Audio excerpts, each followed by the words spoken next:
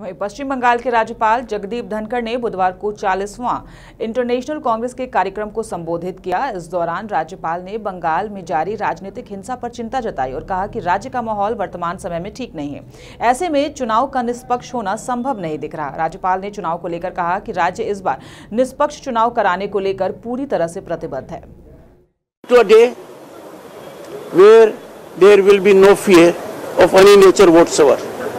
One kind of a fear can be dispelled by scientific innovation.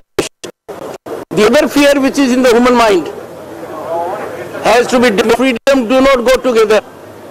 Fear and democracy do not go together. That is the most critical challenge to to any society. Freedom means freedom from fear. Democracy means